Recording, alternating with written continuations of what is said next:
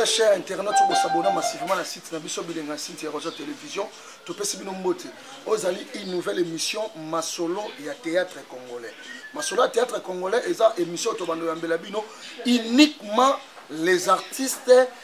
congolais oyo basalaka teledramatique oyo basalaka ba humour oyo basalaka ba série télévisée congolais nde bato tolanda bienvenu na émission na biso ya sika masolo ya théâtre congolais lelo toyambeli bino artiste moko oyo ana tala ebele mais bino moko bo découvrir ye jeune artiste ana ba talent ana parcours moko élogieux na masolo ya théâtre congolais tolobaki tokolakisa bino na makambo oyo bino boyebi te pire mutu na nga tomi ameda na turquie oyo eza masolo ya théâtre congolais topesi bino mbote makasi esika bozali pire mutu na nga trésor kanza na chine hein? mobala la reine de la rose maria debora butudu kanza mama sociale petit na nga fali masevilla na belgique oyo eza masola théâtre congolais lelo toyambeli bino tatu tatu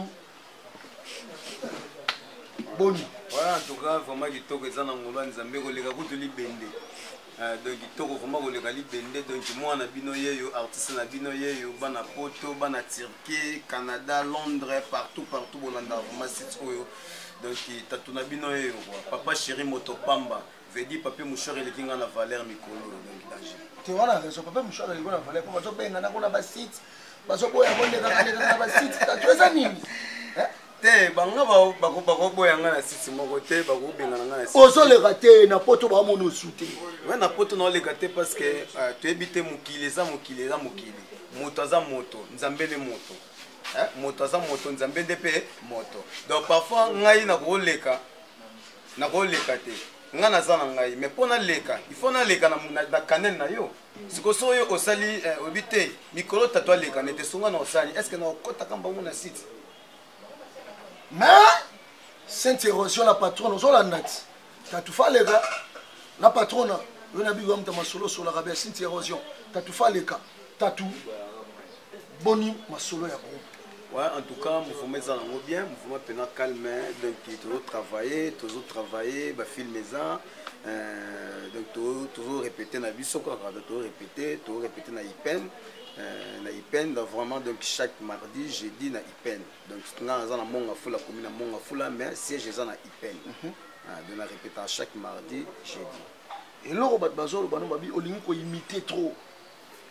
ozo imite ozo imite tatu oyo asalaka epa vie de loin yango moni bato babina yo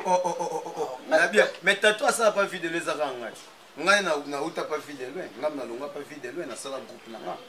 tatu oyo azala pa vie de loin se eza ngai apart tatu ni esusu oyo tatu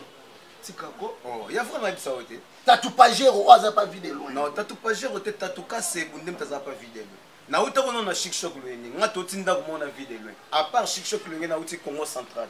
Kisantu Mbanzangungu bana Kisantu oyo baza na libanda, bana Mbanzangungu oyo baza na libanda, Congo central baza na libanda bayebi Tatu Kasebi. Donc nauti na Chic Choc Loyenge na ke Congo central na zongi toye kosala groupe ya vie de loin. Donc biso nde moto pesa vie de loin boule. Lelo place azali sekaza euh, ba bon ba ndenge bato français balobaka hein? Bonne guérison. Eh, ba bonne guérison oyo yo lobi wana euh, bisika azali kuna na, na Sudaf wana papa na ngai double zelis na bosa na baye te donc biso nde topesa indusa kino papa eh, eh, eh, tatu nga naza journaliste nasala ba recherche bayebisa nga babi okima ntango omoni tatu oyo azalaka na shikshok yo lobo ozalaka na shikshok toboli te oh, mais ntango tatu oyo azalaki na shikshok aye na groupe ya vie de loin nde ye esika yo okimaki parce okoki affrontement te yekuta kokanga te parce que ngai na tikela ye libele nano na shikshok loyenge ngai nakota tatu ya liboso akota na shikshok loyenge se tatu kasebu na tatu cimanga ke ton ame repose en paix donc nani euh, tatu mutombo aye aye nsima na ngai na shikshok loyenge alors ntango ngai naye tobandi groupe vie de loi bango balongwe shikshok loyenge baye kointegre groupe vie de loi tozalaki nde tondobetale après tola mwisi non non non non ye nde moto akendaki nga nakendaki te yakei apres nga natikali na nga donc nga nazalaki wana vike makambo na ndo osala mo boye na théâtre mo boye nake na miziki mo na na théâtre mo nake na miziki donc yango esalami marke wana mais ah, nakokima ete ayebi nga eh, motombo ayebi ngai ayebi ngai donc azokuta eloko na nga mona kopompe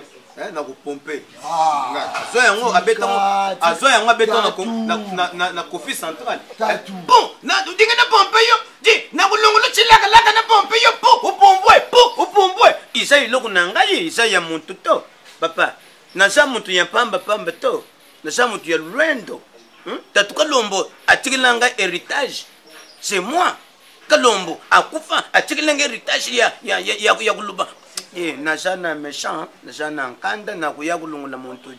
jinso baza bantu to yango nalobi boye montu to oyo alobaka keno ngai tatuka sebu na yimitan non tatuka lombo aza lisusu na vi to alobi te ndenge naza kokende na yanga kopema tatuka sebu zwa charge ya bantantu c'est ça nazwa charge ya bantantu wana nyonso quand même oui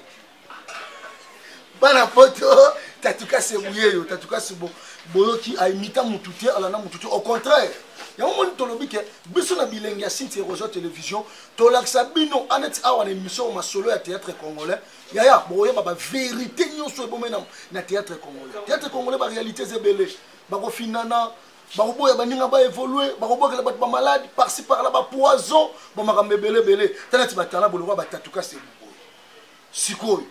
mpo ye bango sabone kaka massivement na bilengi ya site ekozwa télévision tatu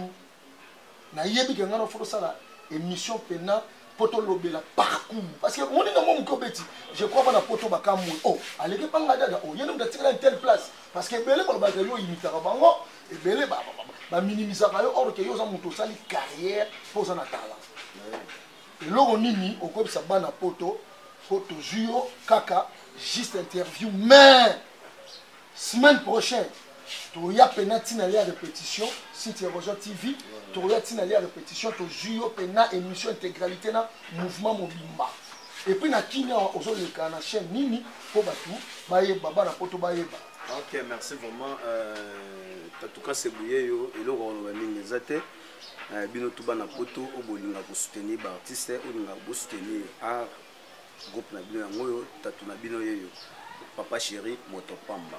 papier mouchoir eleki ngai na valeur donc euh, nazoleka na pes tv nazoleka na pes tv canal 115 mhm. canal 125 pes tv ouais, tnt donc toza vraiment wana chaque lundi na 21h30 mardi na 9h juste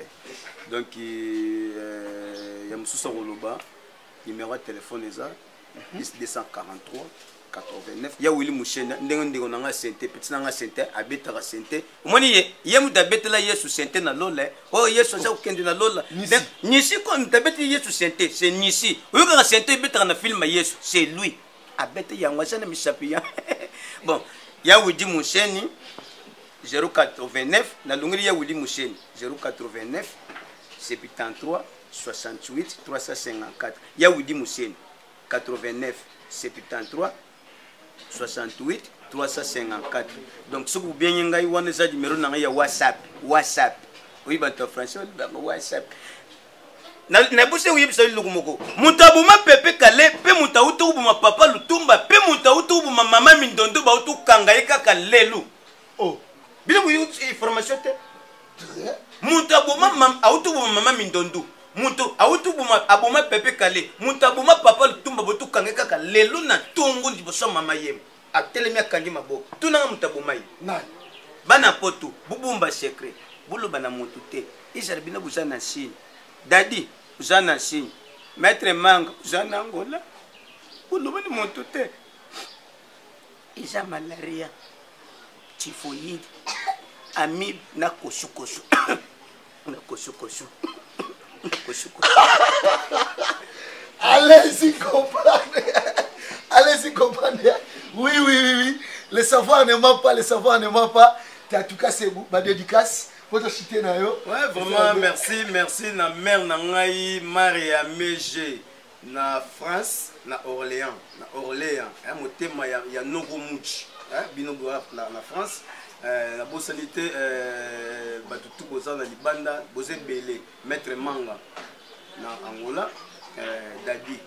na Angola eh, Laetitia Makaya na Luanda kaka na Angola donc boza vraiment ebele les amis de Tatuka Sebutu oyo boza libanda na na poto boza na turquie boza na angola boza na kinshasa vraiment nalingi bino mpe bana groupe na nga triangle d'attaque mpo mikolo na otake bango donc moyen naloba mingi eza te mpo so na bino otanga bakombo bandeko na ngai ya mbanza ngungu eh, bandeko na ngai mbanza ngungu bisika bayambi nga vraiment awa malgré tout bapesa nga kombo te mais nabosani na nga kaka ingénieur odrik dinanga donc ingénieur bisika ozali ingénieur nakoka te ingénieur nakoka te bana poto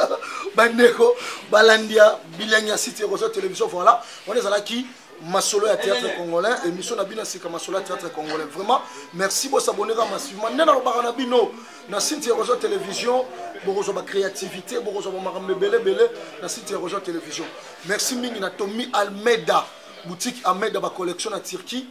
mutu na nga terza okanda na chine fali masevila na belgique petit na nga bourgeois lebo na brésil petit na nga dolphin moke na maroc petit na nga doe maliki nzau na ngola keren bulabanga blanche allegra na soudaf vraiment mutu na bino oyo ya po du koko journaliste d'investigation ya koloba kutu ebele eza te merci merci l'équipe technique fondée de pouvoir eh, misapi ya talo nabosani te le réalisateur puissant papa ingonza cordon pombale mbele la patrona cynthia érosion neti kaka na film vraiment tokutani prochainement que dieu bénisse le congo